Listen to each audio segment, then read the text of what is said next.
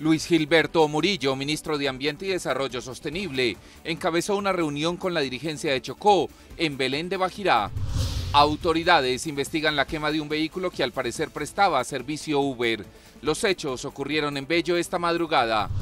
Con toda la tranquilidad del caso, un hombre hurta las pertenencias que se encontraban en un vehículo parqueado en un restaurante de la vía Las Palmas. La policía ya se tomó el estadio Atanasio Girardot.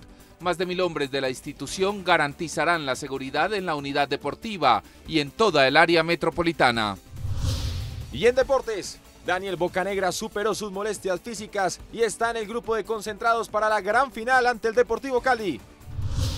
Poderosas noticias, Daniel Cataño se convirtió en el nuevo refuerzo del Deportivo Independiente Medellín.